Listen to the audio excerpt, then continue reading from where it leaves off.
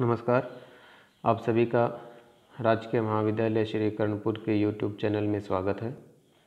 आज हम बी द्वितीय वर्ष में प्रथम प्रश्न पत्र मानव भूगोल के विषय में निश्चयवाद की विचारधारा का अध्ययन करेंगे।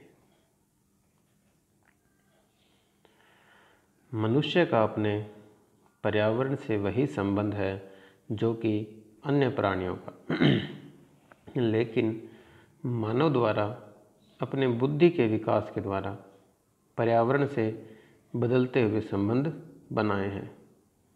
जिस प्रकार से अन्य प्राणी अपने वातावरण के साथ संबंध स्थापित करते हैं, वैसे ही मनुष्य ने किया है, लेकिन अपने मानसिक शक्ति के कारण जहाँ पहले वह वातावरण के अनुसार जंगली जीवन जिया करता था धीरे धीरे वह सभ्यता का विकास हुआ, गाँव नगरों का उद्भव हुआ, परिवहन के साधनों का विकास हुआ और उन्नत तकनीकी की वजह से जहाँ पहले आदिम कृषि किया करता था, वह स्थायी रूप से कृषि करने लगा है। और भी नए परिवर्तन आधुनिक समय में उभर कर सामने आ रहे हैं।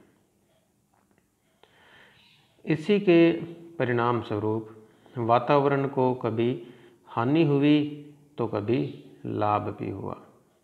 मनुष्य ने अपनी इच्छा को महत्व देने के कारण पर्यावरण में विभिन्नताएँ उत्पन्न की है। मनुष्य की सभ्यता में जो परिवर्तन आया, उसका मुख्य कारण औद्योगिकरण था। औद्योगिकरण से प्राकृतिक संसाधनों का दोहन तीव्र गति से हुआ, जिससे मानव की आवश्यकताओं की पूर्ति होने लगी। और यह आवश्यकताएँ, विलासिता की वस्तुएँ भी बदल गई।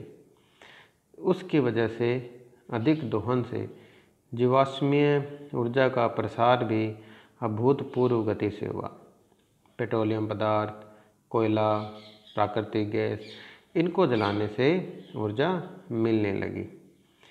इस प्रकार की ऊर्जा से नगरों में प्रति वर्ष दस हज़ार कैलोरी ऊर्जा प्रति वर्ग सेंटीमीटर का अतिरिक्त उत्पादन होता है।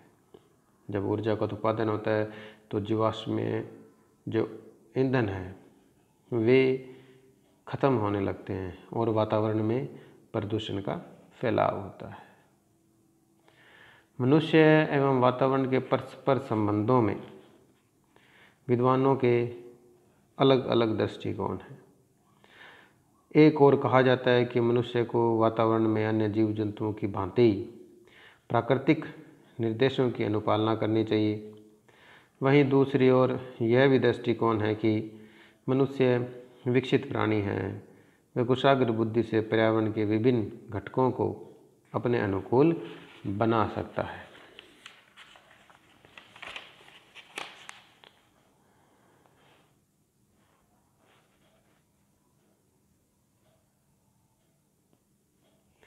निश्चयवाद इसे पर्यावरणीय निश्चयवाद भी कहते हैं। इस विचारधारा के अनुसार मनुष्य को प्राकृतिक वातावरण के निर्देशों की पालना करनी चाहिए। अरस्तु ने अपनी पुस्तक, राजनीति लिखी और उसमें बताया कि यूरोप के ठंडे देशों के जो निवासी हैं वो बहादुर होते हैं, यानी शक्तिशाली होते हैं। किंतु विचारों एवं तकनीकी कौशल में कमी पाई जाती है। और जो एशिया के लोग हैं, वो विचारवान और कुशल होते हैं, परंतु उत्साही नहीं होते। और ये जो बात उन्होंने कही, यानी जो मनुष्य है, मनुष्य पे किसका प्रभाव है? जलवायु का, प्रकृति का। प्रकृति का प्रभाव जलवायु का प्रभाव। उसके अनुसार अरुस्तन ने कहा, यूरोप के लोग बहादुर हैं, जबकि एशिया के लोग बहादुर नहीं हैं। उन्होंने कहा कि एशिया के लोग विचारवान हैं, जबकि यूरोप के लोग विचारवान नहीं हैं। ये इस विचारधारा में ऐसा अरस्तु ने कहा। फ्रेडरिक रेटजल को पर्यावरणीय निश्चयवाद का जन्मदाता कहा जाता है।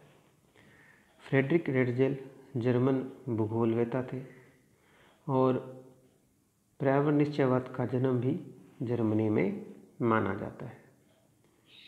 इन्होंने बताया कि प्राकृतिक वातावरण के तत्वों जैसे धरातल की बनावट, क्लाइमेट, वेजिटेबल आदि में मानव के मध्य जटिल संबंध पाए जाते हैं। और जिनमें पर्यावरण तत्व अधिक प्रभावशाली होता है, जो मानवीय क्रियाकलापों को नियंत्रित करता है। और उनके अनुसार क्या है कि जो हमारी बुद्धि है, संस्कृति, सभ्यता की उपलब्धियों की तुलना एक चिड़िया की स्वतंत्र उड़ान से नहीं की जा सकती है। उसकी तुलना एक पौधे के तने से की जा सकती है, क्योंकि हम सदैव पृथ्वी से जुड़े हुए हैं। हिपोक्रेट्स की पुस्तक एयर वाटर एंड प्लेसेस में पर्यावरणीय प्रभावों को स्पष्ट करते हुए बताया कि यूरोपीय लोग द्वारा एशिया पर किए गए आक्रमण का प्रमुख कारण यूरोप की कठोर और परिवर्तनशील जलवायु है, जिसके प्रभाव से यूरोप के लोग कठिन परिश्रमी होते हैं, जबकि एशिया के लोग आराम पसंद होते हैं। कार्लिटर की पुस्तक थी यूरोप या यूरोपा, इसमें उन्होंने मानव केंद्रित विचारधारा का महत्व डाला।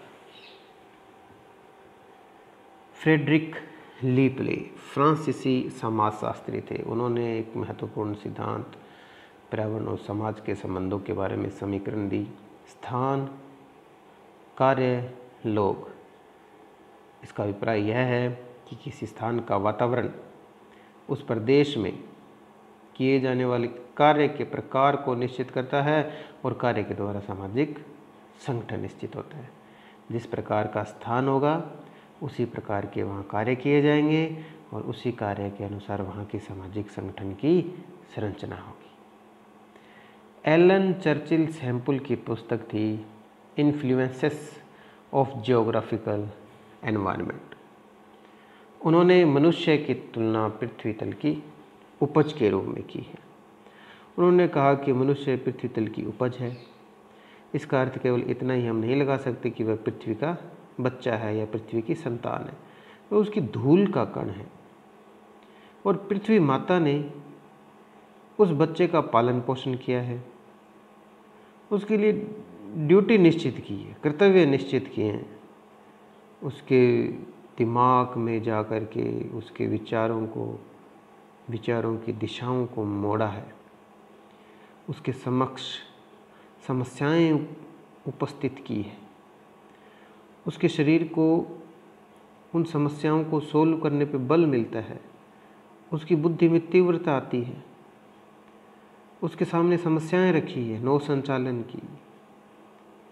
कृषि में सिंचाई की, लेकिन साथ साथ प्रकृति ने उसे उनके हल का भी उपाय बताया है। इस प्रकार इन विद्वानों की विचारों से जिन्होंने वातावरण निश्चयवाद को महत्व दिया, इन्होंने प्रकृति को ही अधिक महत्वपूर्ण माना है। और इन विद्वानों की आलोचनाएँ भी की गई। ऐसा बताया गया कि समान जो भौगोलिक दशाएँ वाले पर्यावरण हैं, उनमें मानव की भूमिका एक समान नहीं है, उनकी संस्कृति एक नहीं है। टुंड्रा प्रदेश के समान की भौतिक दशाएँ उत्तरी कनाडा और साइबेरिया में स्थित हैं। जैसे टुंड्रा प्रदेश की उत्तरी कनाडा में शीत ऋतु, साइबेरिया में शीत ऋतु, लेकिन इन क्षेत्रों के जो निवासी हैं चुकची, लेप्स, एस्किमो, इनके क्रियाकलापों में विभिन्नता मिलती है। उनके रहन सहन में विभिन्नता मिलती है। ऐसे जर्मन के विद्वान हुए हीगल, उन्होंने कहा, मेरे सामने भौगोलिक ये जो नियतवाद, निश्चयवाद है, इसकी बात मत करो। जिस स्थान पर पहले लोग, यूनानी लोग रहते थे, अब वहाँ तुर्की लोग रह रहे हैं। तो जलवायु के अनुसार लोगों के रहने सहने के आधार पर आप जिस जो ये विचारधारा बनाई है, इसमें कोई भी दम वाली बात नहीं है। और वैज्ञानिकों ने शीत ऋतु के पास ठंडे क्षेत्र में उच्च अक्षांशों पर रूस के आसपास गेहूँ उगाया है और उसकी प्रति एकड़ उपज में भी वृद्धि की है।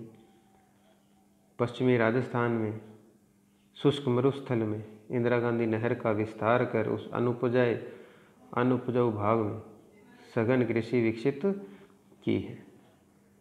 इस प्रकार मानव भूगोल की जो विचारधारा निश्चयवाद है जिसमें प्रकृति के तत्व को महत्व दिया गया है, विभिन्न विद्वानों ने उसके विपक्ष में भी तर्क दिए